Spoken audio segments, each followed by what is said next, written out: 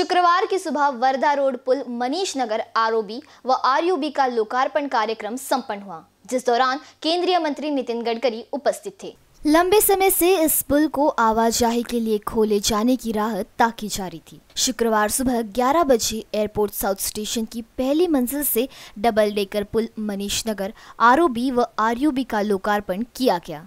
कार्यक्रम में केंद्रीय सड़क परिवहन मंत्री नितिन गडकरी, विरोधी पक्ष नेते देवेंद्र फडणवीस, राज्य के गृह मंत्री अनिल देशमुख, पशु संवर्धन मंत्री सुनील केदार, पालक मंत्री नितिन राउत, स्थानीय विधायक व अधिकारी उपस्थित थे।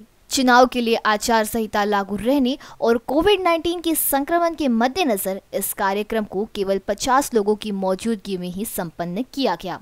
उल्लेखनीय है कि इस प्रोजेक्ट के लिए एनएचआई ने ही फंडिंग की थी जबकि इसका निर्माण महामेट्रो ने करवाया है। मेट्रो आणि एन एच आय या दोघांनी मिळून आणि एल एन टीने तयार केलेलं डिझाईन यातून देशातलं स्टेट ऑफ आर्ट आणि पहिलं असं मल्टी ट्रान्सपोर्ट सिस्टमचं हा पहिला होतो आहे पण हा जसा होतो आहे तसा सहा महिन्यात अजून दोन एक पारडीचा आणि एक उत्तर नागपूरमध्ये कामठी रोडचा ते पण दोन होणार आहेत.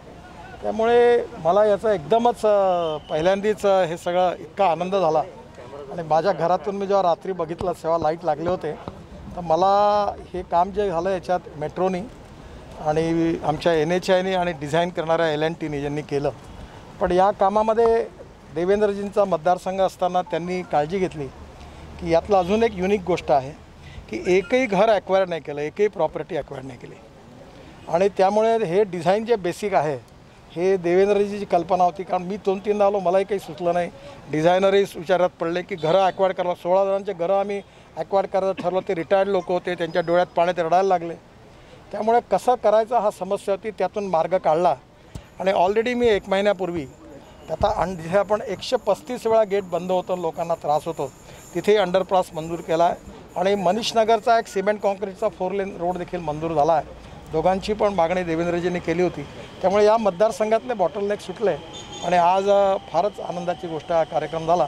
थोडंसं दुःख आहे की आचारसंहिता आणि कोविड या सगळ्या भानगडींमुळे आपले लोक आपण सगळेजण कार्यक्रमाचा आनंद घेऊ शकले नाही. त्याबद्दल मी दिलगिरी व्यक्त करतो. पण आपण आज सकाळी जसं आमच्याबरोबर आता मी चाललो आहे तर जरूर याच्यावर राऊंड टाका. पण रात्री जरूर जा. रात्रीचा जो आनंद मी आज बघितला काल तो फारच चांगला आहे.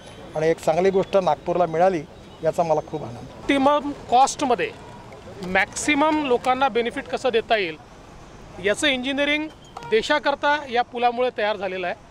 आणि मला असं वाटतं की नागपूरने एक नवीन दिशा गडकरी साहेबांच्या नेतृत्वात संपूर्ण देशाला दाखवली आहे. आता अनेक ठिकाणी अशा प्रकारचे ब्रिज आपल्याला इंटिग्रेट करता येतील मेट्रोसोबत करता येतील नॅशनल हायवेसोबत करता येतील. आणि म्हणून मला फार आनंद आहे. मी अगदी मनापासून आदरणीय गडकरी साहेबांचं अभिनंदन करतो.